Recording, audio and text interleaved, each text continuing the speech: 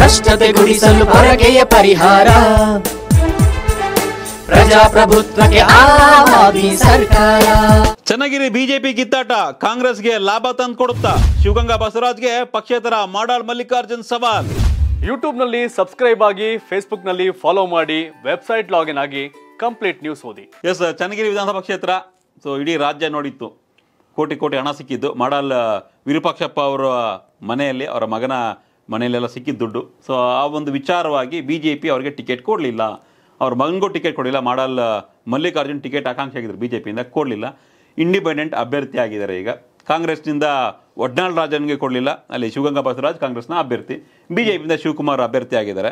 So ಇಲ್ಲಿ ಚನ್ನಗಿರಿಯಲ್ಲಿ Congress versus Madal Mallikarjun ಅನ್ನೋ ಲೆಕ್ಕಾಚಾರದಲ್ಲಿ ಇದೆ. ಶಿವಕುಮಾರ್ ಕೂಡ ಅವರ ಹೆಸರ ಮೇಲೆ ಒಂದಷ್ಟು ಟೇಕ್ ಆಫ್ ಆಗ್ತಾ ಇದ್ದಾರೆ ಬಿಜೆಪಿ ಅಭ್ಯರ್ಥಿ. ಆದ್ರೆ ಏನಾಗುತ್ತೆ ಅಂದ್ರೆ ಕಾಂಗ್ರೆಸ್ ಹಾಗೆ ಮಾಡಾಳ್ ಮಲ್ಲಿಕಾರ್ಜುನ. ನಡುವಿನ ಫೈಟು ಎರಡನೇ ವಿಚಾರ ಏನು ಕಾಂಗ್ರೆಸ್ ಹೊಸ ಅಭ್ಯರ್ಥಿ. ಬಿಜೆಪಿ ಹೊಸ ಅಭ್ಯರ್ಥಿ. ಕಳೆದ ಬಾರಿ ಹದಿಮೂರಲ್ಲಿ ಅವರು ಕಂಟೆಸ್ಟ್ ಮಾಡಿದಂತವ್ರೆ. ಮತ್ತೊಂದು ಪ್ರಮುಖವಾದ ವಿಚಾರ ಏನು ಅಂತಂದ್ರೆ ಇಲ್ಲಿ ಮಾಡಾಳ್ ಮಲ್ಲಿಕಾರ್ಜುನ್ ಹಣವಂತ ಸಿರಿವಂತ ಶ್ರೀಮಂತ. ಬೇರೆ ಬೇರೆ ಕಾರಣಕ್ಕೇನೋ ರೇಡ್ ಆದ್ಮೇಲೆ ಅವ್ರಿಗೆ ಟಿಕೆಟ್ ಮಿಸ್ ಆಯ್ತು ಫ್ಯಾಮಿಲಿಗೆ ಸೊ ಇಲ್ಲಿ ಫೈಟ್ ನಡೀತಾ ಇದೆ. ಬಟ್ ಈ ಬಿಜೆಪಿಯ ಬೆಳವಣಿಗೆ ಕಾಂಗ್ರೆಸ್ ಒಂದು ಸ್ವಲ್ಪ ಪೂರಕ ವಾತಾವರಣ ಆಗ್ತಿದೆ ಮಾಡಾಳ್ ಮಲ್ಲಿಕಾರ್ಜುನು ಗೆಲ್ಬಹುದು ಕಾಂಗ್ರೆಸ್ ಅವರು ಗೆಲ್ಬಹುದು ಶಿವಗಂಗಾ ಬಸವರಾಜ್. ಎಡವಟ್ಟಾಗಿ ಈ ಗ್ಯಾಪ್ ಅಲ್ಲಿ ಶಿವಕುಮಾರ್ ಅವರು ಮಾಡ್ಕೋಬಹುದು ರಿಸಲ್ಟ್ ಅಂತ ಹೇಳ್ತಾರೆ. ಬಟ್ ಚನ್ನಗಿರಿ ಚದುರಂಗದ ಆಟದಲ್ಲಿ ಯಾರು ಬೇಕಾದ್ರೆ ಏನ್ ಬೇಕಾದ್ರೂ ಏನ್ ಬೇಕಾದ್ರೆ ಆಗ್ಬೋದು. ಆಗ್ಬೋದು. ಆಗ್ಬೋದು ಸೊ ಫೈಟ್ ಅಂತೂ ಜೋರಾಗಿ ನಡೀತಾ ಇದೆ ಚೆನ್ನಾಗಿರಲಿ ಇವರೇ ಗೆಲ್ತಾರೆ ಅನ್ನೋ ತರ ಏನಿಲ್ಲ. ಒನ್ ಸೈಡ್ ತರ ಏನಿಲ್ಲ.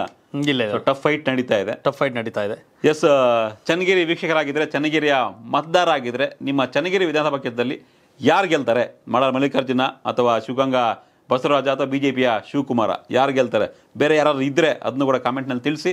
ಅದೇ ರೀತಿ ಮುಂದಿನ ಸರ್ಕಾರವನ್ನು ಯಾರು ರಚನೆ ಮಾಡ್ತಾರೆ ಯಾರು ಮುಖ್ಯಮಂತ್ರಿ ಆಗ್ತಾರೆ ಅನ್ನೋದನ್ನ ತಿಳಿಸಿ. ಕರ್ನಾಟಕ ಟಿ ವಿಯ ಒಂದು ಕಳಕಳಿ. ಯೋಗ್ಯರು ಗೋಟ್ ಹಾಕಿ ಅಯೋಗ್ಯರು ಗೋಟ್ ಹಾಕ್ಬೇಡಿ. ಯಾಕೆಂತಾರೆ ಯೋಗ್ಯರನ್ನ ವಿಧಾನಸೌಧಕ್ಕೆ ಕಳಿಸಿ ಮತ ಮಾರಾಟ ಮಾಡಬೇಡಿ ಮತದಾನ ಮಾಡಿ ಪಕ್ಷ ಜಾತಿ ಧರ್ಮ ನೋಡೋಕೆ ಹೋಗ್ಬೇಡಿ. ಒಳ್ಳೆಯವ್ರನ್ನ ಆಯ್ಕೆ ಮಾಡಿ. ಧನ್ಯವಾದ ಇದು ಕರ್ನಾಟಕ ಟಿವಿ ಕನ್ನಡಿಗರ ಧ್ವನಿ.